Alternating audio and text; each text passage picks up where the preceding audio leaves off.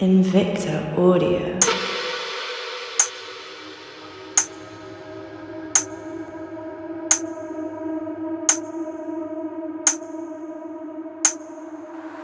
The source of the energy in the atomic bomb is the large, complex, and unstable nucleus of plutonium or uranium-235. The energy is released in a process known as a nuclear particle known as a neutron strikes and splits the nucleus of uranium or plutonium. Between one and three neutrons are released. Neutrons may strike and split still other nuclei, and the process continues.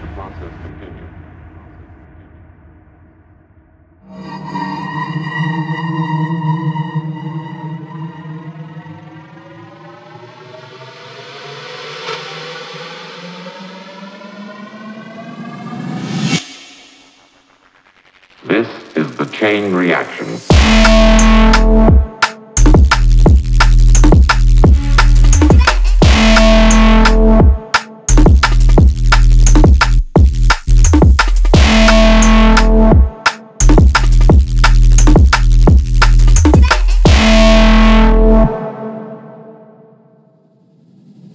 Atomic bomb.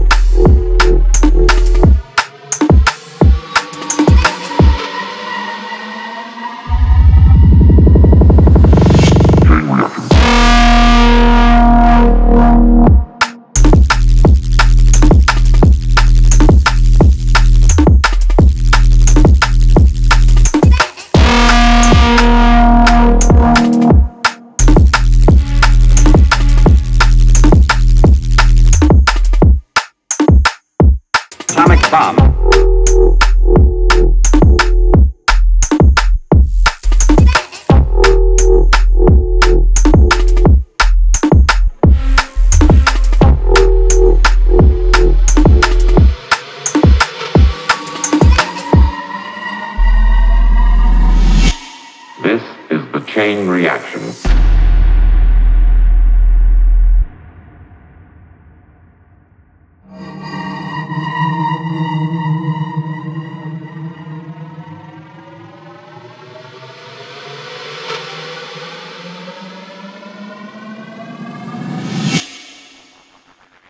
This is the chain reaction.